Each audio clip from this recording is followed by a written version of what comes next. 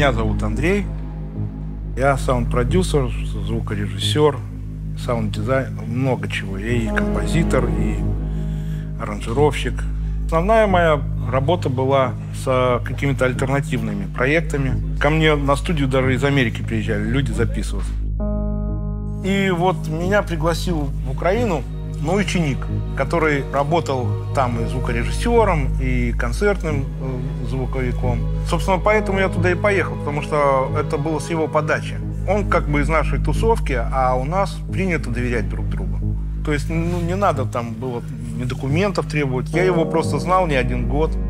Моя задача заключалась в формировании и в поиске там, и в э, запаковке студий оборудования. Потом э, я обучал людей, в том числе и вот этого хлопца музыки и вокалу. Мне было интересно просто создать студию мечты. Она сейчас вот на СНГ, наверное, лучшая. То есть там э, реально очень уникальное оборудование собрано. Поначалу я так увлекся, что меня вообще все устраивало, хотя я и жил там у них в подвале. Там кормежка была, там же в подвале. И я там же обучал местных ребят, создавал какой-то коллектив. И, ну, это было просто начало, потому что студия еще строилась, само здание. И мы с ним договорились, что как вот я захочу, по моему первому требованию он мне выдаст все, что он мне должен. Но они еще приехали сюда, забрали все мое оборудование зачем-то. И вывезли это тоже нелегально, как оказалось. Пообещали мне гражданство там устроить, оформить меня официально. Все оказалось ложью. Я все это время, это два года, считайте, находился там нелегально. А паспорт они меня, меня забрали типа под видом того, что все сделаем, все, там не волнуйся. Ну, а я такой взял и поверил. У меня не было никогда таких проблем. Вот эта вся история начала еще жестче закручиваться. Я не смог поехать даже в Киев, потому что не было паспорта и не было денег. Когда я начал уже задавать эти вопросы, обещания опять очередные, ну, я что сделал со своей стороны? Я перестал работать, грубо говоря. То есть решил устроить такую легкую забастовку.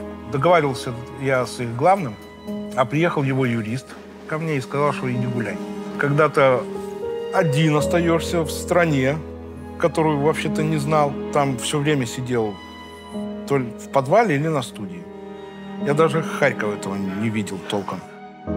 Как-то очень страшно поначалу было.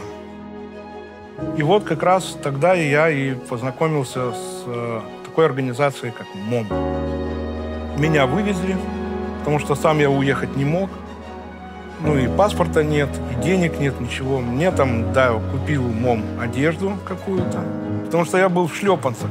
Потом меня перевезли в белорусский МОМ, поселили в убежище, и здесь мне правили паспорт, помогли с психологическими проблемами, потому что ну, реально было тяжело поначалу, когда немножечко крыша съезжала.